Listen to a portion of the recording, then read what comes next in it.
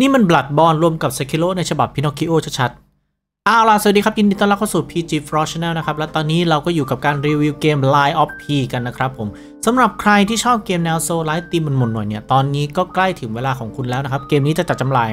ในช่วงวันที่ 19 กันยายนนี้นะครับผม เอาล่ะ ก่อนที่จะเริ่มเดี๋ยวเราจะมาอธิบายถึงลักษณะของตัวเกมกันก่อนนะครับ คือลักษณะของตัวเกมเนี่ยเป็นแนวแอคชั่น Souls-likeธีม dystopia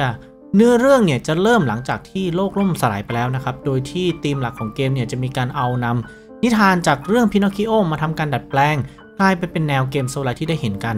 ในช่วงแรกนะครับ ก็จะมีการให้เราเลือกสายที่เราจะต้องเล่นก่อน โดยที่ในแต่ละสายเนี่ยมันจะมี status อยู่ 3 แบบนะครับ ก็คือในแบบ balance นะครับก็คือ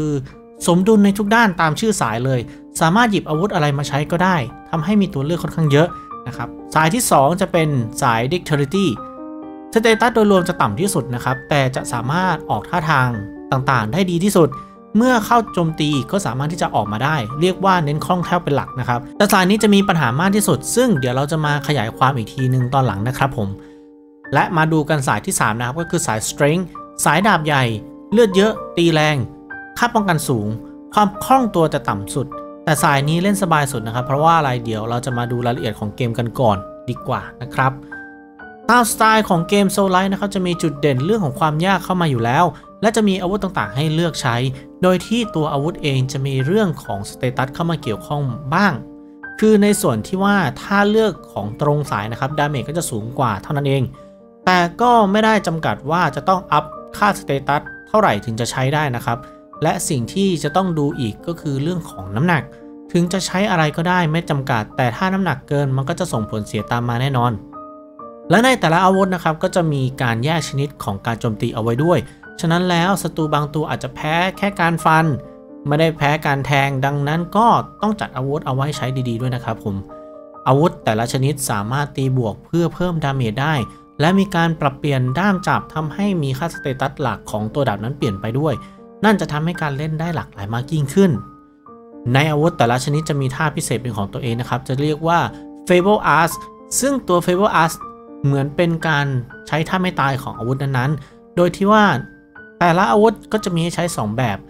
อันนี้จะตายตัวนะครับว่ามี 2 แบบแน่ๆ แต่แบบที่ 1 หรือแบบที่ 2 ไม่จำเป็นที่จะต้องเหมือนกับอาวุธอื่นๆ เช่น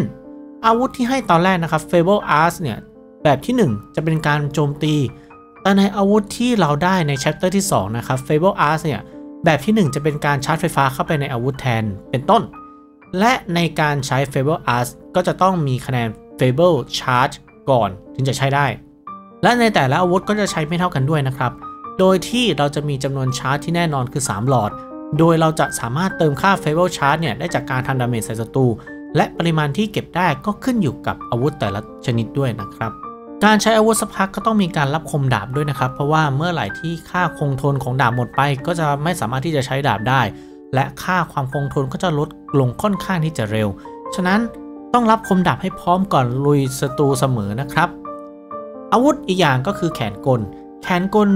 มีการปรับเปลี่ยนได้หลากหลายในอนาคต จะใช้อะไรแบบไหนก็แล้วแต่ที่ชอบหรือตามสถานการณ์นะครับ แขนกลจะมีการปรับเปลี่ยนได้ก็ต่อเมื่ออยู่ที่จุดพักแล้วเท่านั้นนะครับ และการใช้แขนกลรอบหนึ่งก็มีจำกัด จะเห็นได้จากหลอดสีเหลืองๆด้านซ้ายนะครับ นั่นเป็นเหมือนหลอดสตามิน่าของแขนกล ในการใช้แต่ละครั้งเราก็จะเสียสตามิน่าในหลอดนี้ไปเรื่อยๆ ถ้าหมดก็จะไม่สามารถที่จะใช้ได้อีก จนกว่าเราจะไปนั่งพักที่จุดพัก และยังเป็นวิธีเดียวที่จะเป็นการรีหลอดใช้งานในตอนนี้นะครับซึ่งตอนนี้ก็ยังไม่มั่นใจว่าตัวแขนกลเองจะมีการเติมหลอดใช้งานได้หรือเปล่านะครับ ซึ่งก็ต้องรอดูตัวเต็มอีกทีหนึ่งทีนี้ เราจะมาดูเรื่องของยาเติมเลือดกันบ้าง ในเกมจะให้ขวดยาเรามา 3 ขวด เมื่อใช้หมดแล้ว การโจมตีใส่ศัตรูจะเป็นการเติมชาร์จของขวดยาขึ้นมาได้ แต่สะสมได้แค่ขวดเดียวนะครับ พอเต็ม 1 ขวดแล้วก็จะไม่มีการชาร์จเพิ่มอีก และปริมาณการชาร์จขวดยาก็ขึ้นอยู่กับค่าชาร์จเพาเซลในอาวุธ ยิ่งค่าสูง การโจมตีแต่ละครั้งก็จะสะสมมากตามไปด้วย แต่ไม่ได้หมายความว่ายิ่งสูงจะดีเสมอไปนะครับ เพราะมันจะนับเป็นต่อฮิต ซึ่งอาวุธบางอันเนี่ยค่าชาร์จเพาเซลเนี่ยจะน้อยกว่า แต่จำนวนฮิตเยอะกว่าและเร็วกว่า มันก็แทนกันได้อยู่ และจากการที่ไปเล่นมานะครับ และตายซ้ำตายซากแบบบ่อยจังโว้ยทำให้รู้ว่าเกมนี้เน้นไปทางการป้องกันซะมากกว่า การจะหลบแล้วสวนทำ damage เนี่ยไม่ค่อยจะใช้ได้สักเท่าไหร่ เพราะว่าหลบยากและ ช่วงการหลบนี่ค่อนข้างที่จะสั้นนะครับ ในการป้องกันแต่ละครั้งเนี่ยถ้าเกิดว่าป้องกันได้พอดีจังหวะนะครับ หรือ perfect parry นั่นแหละ จะไม่ทำให้เสียเลือด ถ้าไม่ถูกจังหวะนะครับ ก็คือเราอาจจะบล็อกเร็วเกินไปเนี่ย ก็จะเสียเลือดตามอาวุธที่ใช้ แต่การเสียเลือดจากการป้องกันเนี่ยสามารถดูดเลือดกลับคืนมาได้ โดยที่การได้รับ damage มากน้อยแค่ไหนในการป้องกัน มันจะอยู่ในส่วนของอาวุธตรงที่ค่า guard ability ยิ่งค่าสูงเราก็ยิ่งเสียเลือดน้อยลง และอีกส่วนหนึ่งก็คือค่า vitality ที่จะเพิ่มเลือด และเพิ่มค่า guard regen ที่จะทำให้เราป้องกันได้ดีขึ้นนะครับ เอาละทีนี้เราจะมาเจาะตื้นเรื่องของ status กัน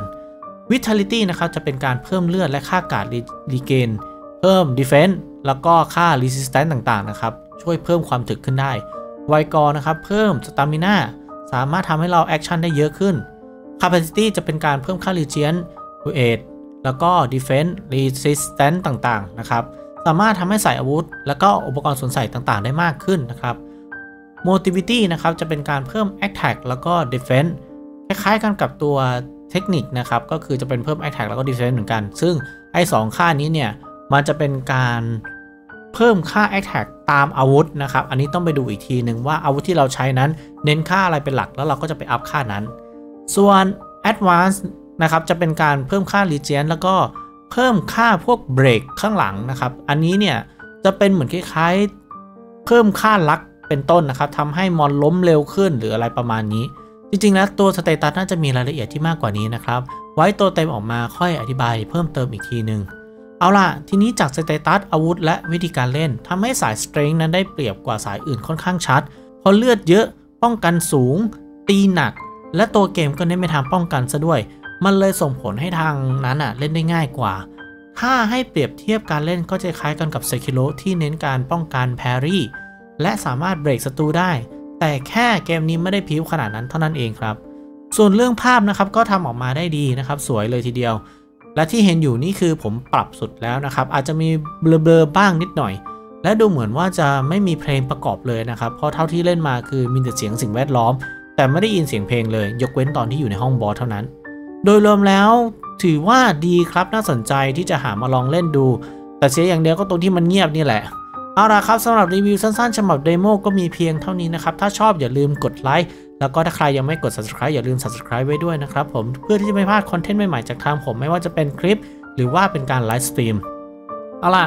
ก็ขอบคุณมากๆที่เข้ามาดูกันจนถึงตอนนี้นะครับหวังว่าทุกคนจะ enjoy กับคลิปคลิปนี้นะครับผมแล้วพบกันใหม่คลิปหน้าครับสวัสดีสวัสดีครับ